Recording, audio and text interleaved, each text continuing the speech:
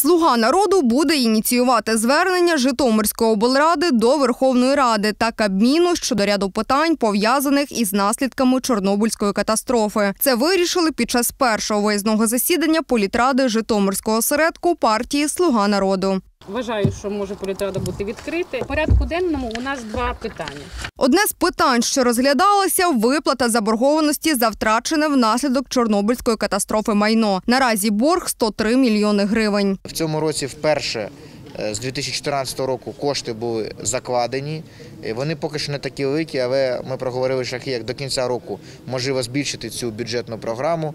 Е, Ми будемо ініціювати на наступний рік е, і збільшення фінансування цієї програми для того, щоб поступово вирішувати це е, питання. Інше болюче питання використання земель, що зазнали радіаційного забруднення. Майже всі землі найбільш постраждалих громад віднесені до другої та третьої категорії радіаційного забруднення. Лише у народицькій громаді з 15 тисяч гектарів землі 13 перебувають у такій зоні. А тому закон України забороняє тут проводити будь-яку сільськогосподарську діяльність. Та не усі цих заборон дотримуються. Держава має визначити ті території, які справді сьогодні дають великий рівень забруднення, вивести ті землі із обробітку, законсервувати і заборонити там обробіток, а використати їх під інші напрацювання, Через таку заборону й громаді важко втриматися, адже основний шлях наповнення бюджету обробіток земель. В екологічній інспекції кажуть, за результатами останніх досліджень радіація й досі перевищує усі допустимі межі. Отже, обробляти землю забороняється. Потрібно повністю заборонити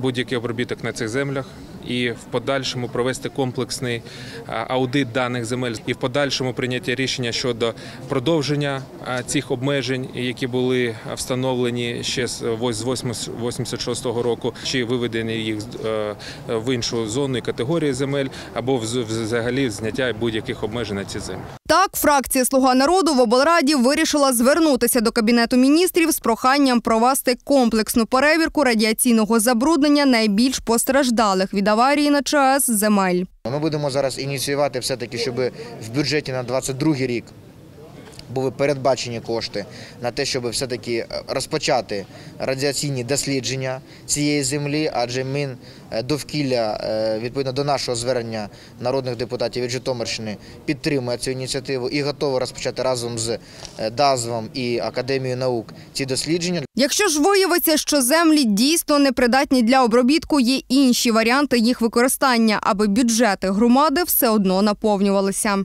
то можливо, якщо ми ставимо крапку, ми розуміємо, що більше там нічого неможливо вирощувати, тоді ми можемо зробити може якийсь хаб і запропонувати нашому бізнесу, допустимо, що електроенергію, сонячні батареї. Ми можемо тут розробляти сонячні батареї? Можемо.